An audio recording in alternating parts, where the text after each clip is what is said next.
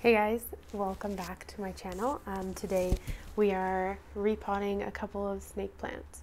Um, we've had one for quite a long time and it just got so huge so I repotted it today which you guys are going to see. I hope you enjoy and yeah, if you have anything you want to see, let me know.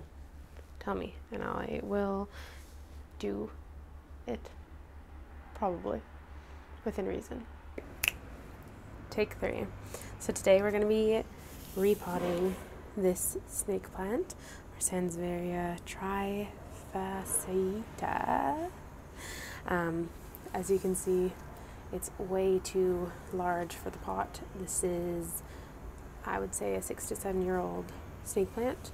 Um, Shane's parents got it for him when he was, before we met, we were like three and a half years been together. So I'm going to repot this guy. I have one terracotta pot that I'm going to do it into. Um, so I thought that it would be interesting for you guys to see maybe the process, how hard or how easy it is. Because right now I don't know what it's going to be like to get this out. Um, as I said, it's about seven years old, this pot. Maybe that's too much. Maybe five five years old. But you can see that it's like straining to get light.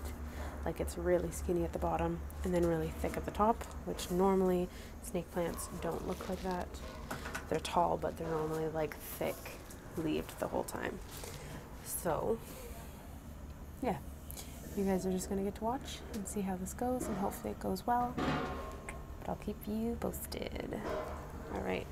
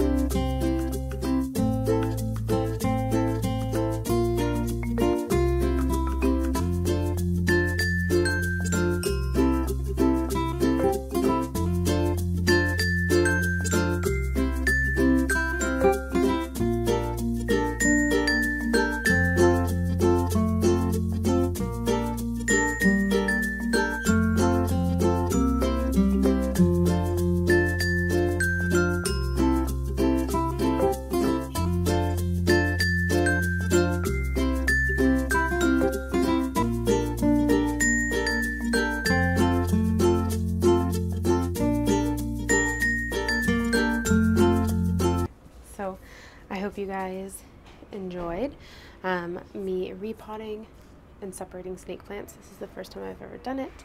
Um, I did have to remove some sad looking ones, but that's just what happens.